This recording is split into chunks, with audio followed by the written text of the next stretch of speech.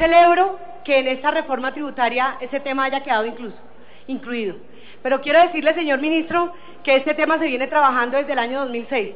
No solamente por el partido de la U, lo dije, también lo ha trabajado el Partido Liberal y el movimiento político Mira. Por eso yo quiero decirle a usted, señor ministro, que si bien celebro y voy a apoyar este artículo, es necesario aclarar que no se puede vender la idea de que solamente aprobando la reforma tributaria y aprobando la creación del impuesto al CRES podría dársele el salario mínimo y la vinculación laboral a las madres comunitarias. Eso es una orden de la Corte Constitucional que debía cumplirse. Estoy de acuerdo que tiene que ser progresiva, doctor Ángel Custodio, así lo dijo la sentencia de la Corte Constitucional. Pero también quiero dejar una constancia y es la siguiente.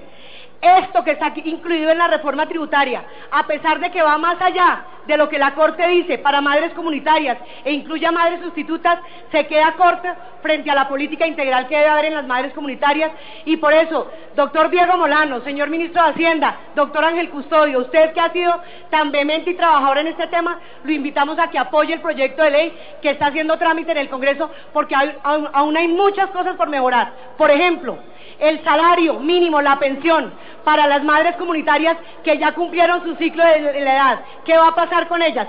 Usted dice, doctor Molano, cinco mil madres comunitarias que han sido vinculadas a los centros de desarrollo infantil, pero nos quedamos cortos. Por eso yo pienso, doctor Albaluz Pinilla, que pedir que se suprima ese artículo sería contrario a lo que hemos venido tratando y luchando durante más de siete años en este Congreso de la República y por eso apruebo este artículo. Muchas gracias, señor presidente.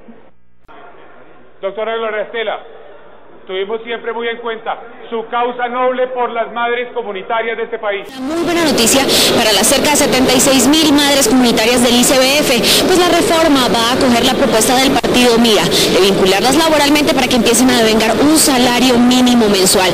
Me acompaña precisamente la representante de la Cámara y autora del proyecto, la representante Gloria Estela Díaz. Representante, bienvenida a Cable Noticias y cómo reciben esta buena noticia. Bueno, un cordial saludo para todos los televidentes, pues felices, porque desde el año 2006 veníamos luchando esto, que las madres comunitarias en Colombia fueran vinculadas laboralmente, pero además de esto se les pagara el salario mínimo mensual legal vigente, como quiera que hoy solamente reciben una bonificación que está alrededor de los 390 mil pesos.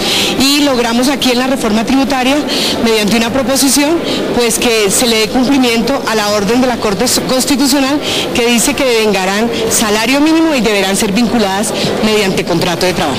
¿Cómo va a entrar en vigencia esto con, con el tema de la reforma tributaria? ¿A partir de cuándo? Bueno, a partir del año 2013, las madres comunitarias van a recibir una beca equivalente a un salario mínimo mensual legal vigente.